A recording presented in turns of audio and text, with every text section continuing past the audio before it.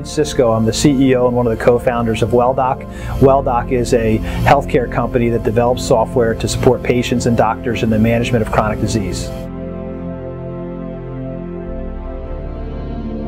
So the comment was that culture eats strategy for lunch. I once uh, had a friend tell me that, and I think it is true. I mean, you can have the best strategy that you want, um, but if you don't create the right culture within the organization to truly execute on that, you're going to have significant problems. Uh, the example I'll give is uh, one of the companies I worked for uh, early on in my career it came up with a very low price strategy that was going to drive significant demand in their business, and it, in some some respects, it was a great strategy.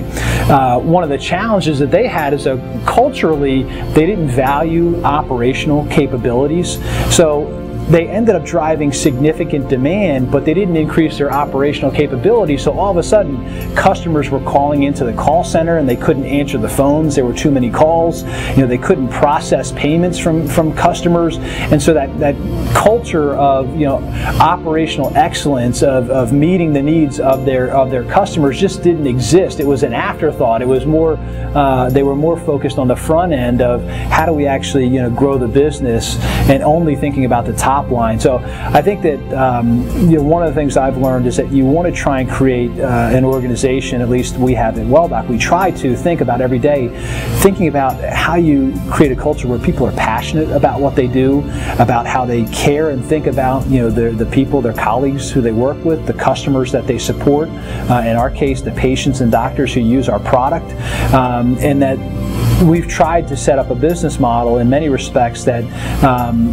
the more that we help people, the better that we do as a business. And that's something that we try to instill throughout the organization to make sure that people understand.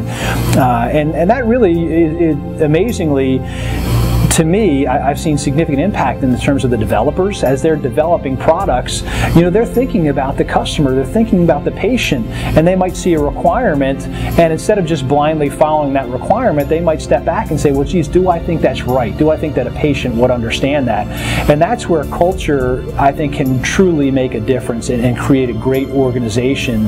Is that when you have people who are, are passionate and care about what they're doing, and then they're also implementing a great strategy strategy. I think that's how you create a, a, um, a winning organization.